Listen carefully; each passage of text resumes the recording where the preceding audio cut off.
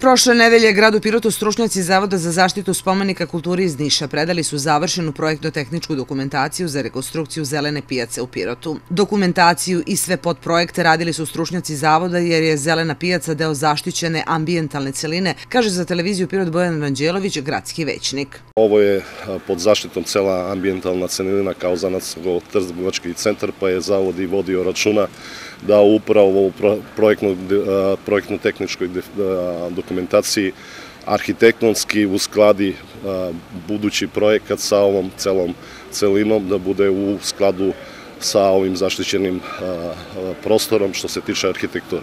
Dobijena je i građevinska dozvola, a predstoji pronalaženje izvora finansiranja ovog obimnog projekta koji košta po predračunu 116 miliona dinara, kaže Ranđelović.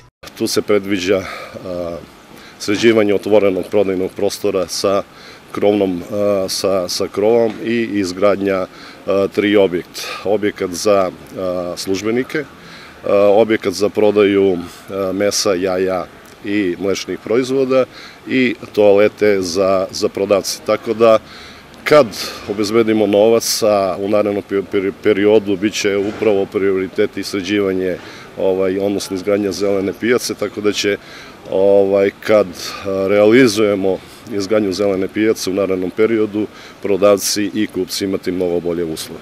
Kada bude definisan početak i dinamika izvođenja radova, biće izmešteni prodavci na privremenu lokaciju, kaže Ranđelović i dode da je u razmatranju nekoliko mesta za privremeno iseljenje zelene pijace.